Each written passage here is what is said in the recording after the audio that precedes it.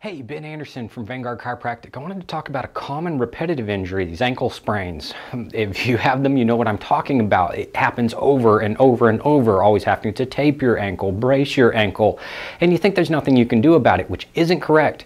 With a focused exam, you can figure out exactly where the dysfunction is and know that you fixed it through time with, with uh, focused, specific, tailor-made treatments.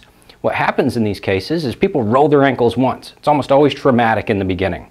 And it'll strain it, it'll strain the muscles that hold the foot out because usually the ankle rolls in. So these muscles, there's three in the peroneal compartment and they're all called peronei. Peroneus longus, peroneus brevis, peroneus tertius.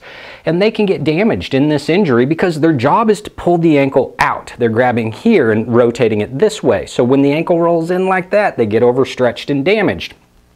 This is what leads to the long-term consequences. The short-term consequences are you strain the ligaments. Ligaments hold bone to bone. They get stretched out, they hurt, lasts weeks, and then they heal.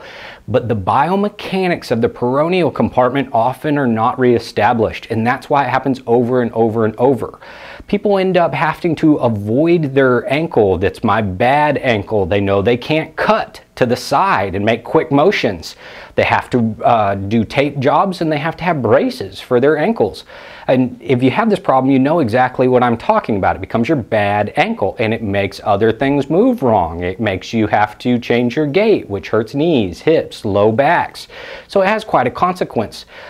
Taping and braces work as a temporary solution, but fixing a problem gives you a long-term solution. So if you can figure out where the dysfunction is, address it specifically, which is usually finding areas in the muscle that have been damaged and essentially re-injuring them by doing myofascial work and allowing them to heal up at a better stage, at more biomechanically advantageous function, then patients can move forward and they no longer have to use their braces. With home strength and stabilization exercises, full recovery is possible.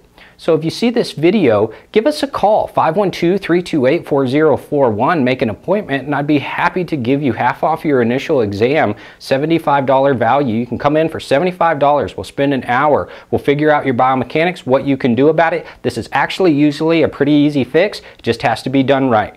So thanks for watching, and I hope to see you soon.